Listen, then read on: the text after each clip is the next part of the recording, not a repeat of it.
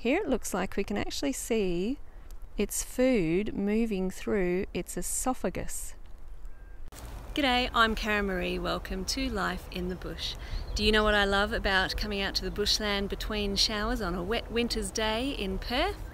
It's the opportunity to potentially find native snails. In this video I will share loads of cool information about these cute little critters that most people rarely get to see in the bush. Now, around the suburbs of Perth in southwest Western Australia, there are two local land snail species that are more common than others. However, the two snails that most people will see around Perth are not native. They are the brown garden snail, Helix aspersa, like this one, and the Mediterranean or white snail, Theba pisana, that look like these ones here. The two local snails both belong to the same ancient genus Bothriembryon. They are Bothriembryon bulla and Bothriembryon kendricki, and they've survived along with other Bothriembryon species around southwest Western Australia since Gondwana time, which is a mere 550 million years. So it's already rained here this morning and I may or may not find some snails in this patch of bushland. I haven't been searching for snails in this bushland before, but about nine years ago I came across both species in the one small suburban pocket of bushland. So a few weeks ago I returned to that site to take some video footage for you. On the day, I forgot a vital piece of equipment that didn't enable me to plug my microphone into my iPhone and it was a very windy day. So here's a look at some of the footage that I took.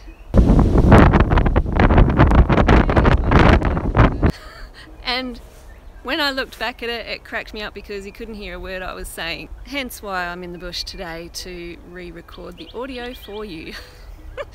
now, when I returned to this site, at first I found a piece of broken shell as you can see here. So I was feeling hopeful. Then I found a more complete shell and was still feeling hopeful but beginning to think maybe all I was going to find was shells. Then I saw a complete shell and it was, but it also had a body hiding underneath. So as you can imagine, I was super excited and I was very fortunate that it actually only took a minute or two of careful searching to find this fascinating little creature. Now I only found one species that day and this here is Bothriembryon bulla but fortunately one of my friends came across a Bothriembryon kendricki last year and I captured plenty of footage of that one which we'll get to later. Bothriembryon bulla has a light coloured body and shell and is slightly larger than Bothriembryon kendricki, which has a darker coloured body and shell. The snails forage in the leaf litter and under low vegetation. They tend to feed more on detritus than on living leaves. Detritus is the dead organic matter in the bush, like the leaves and sticks among the leaf litter. In this way, they are assisting with the decomposition of plant matter and cycling nutrients back into the soil. They probably eat mostly fungi and bacteria, whose role is also to break down the dead organic matter on the bushland floor. Here it looks like we can actually see its food moving through its esophagus. The whole time I was filming this little snail, it's important to note that it only covered an area not much bigger than the size of my hand. So I guess the snail's world is a lot smaller than ours and these little remaining pockets of bushland are so important because they are their home and that's a good reminder for all of us to tread carefully when we're visiting the bush. Stick to the paths as much as you can because you never know what little creature might be living under your next step. Now this cute little snail is Bothriembryon kendricki the one my friend came across in bushland last year. And me being me, I took as much footage of it as I could, so I'm pleased I can share this with you. So, although it's hard to tell by comparison, the Bothriembryon kendricki is usually slightly smaller than Bothriembryon bulla. You can also see that its body is a dark grey colour and the shell is a lot darker and very attractive with different shades of brown and cream. Check out the incredible pattern on its body.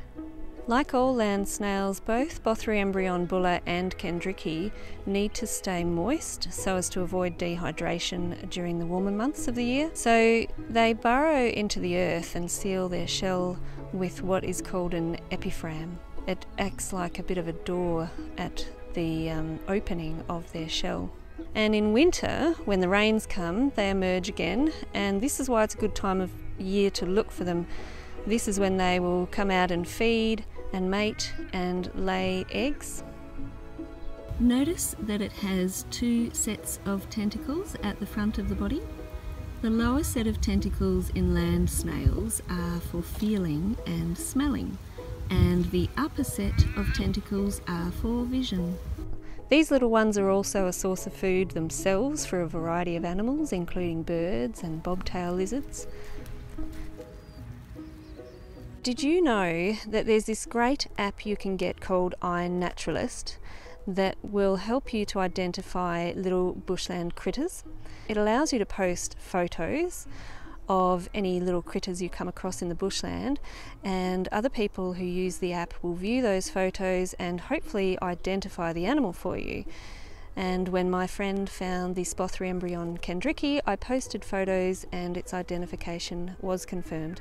If you're keen to see native snails in their natural environment and you live in Perth or are thinking of travelling to Perth, the two species that I've shown you in this video today, as well as a third Bothriembryon species, do also occur in Kings Park, which is an iconic and beautiful large patch of bushland in Perth City worth a visit. And hey, if you come across native snails in your travels, I would love to see photos of them or hear about them. So comment down below. I'm not sure if you can attach photos below, so if not, if you want to email them to me, my email address is on my About page. Perhaps you might find some other interesting creature in the bushland and have it identified on the iNaturalist app or another similar app. If you do, let me know. I'd be really curious to find out about it. Now before I wrap up this video, I would like to acknowledge the traditional custodians of the land where I've been filming. They are the Noongar Whadjuk people and I would love to know what the Noongar Whadjuk people called these snails. I haven't been able to find any information written about it. If you know something, please write a comment below. I'd love to hear from you. Well, I'm stoked. I feel very fortunate that I have come across these native snails and been able to share them with you. I've worked in conservation in bushland reserves around Perth for around 10 years and been in over 100 reserves and these are the only sightings I've ever had of native snails. I didn't find any here today so I didn't get any extra footage to share with you. Thank you for your valuable time. I hope you've enjoyed watching this video. If you have, please give me a thumbs up and consider subscribing.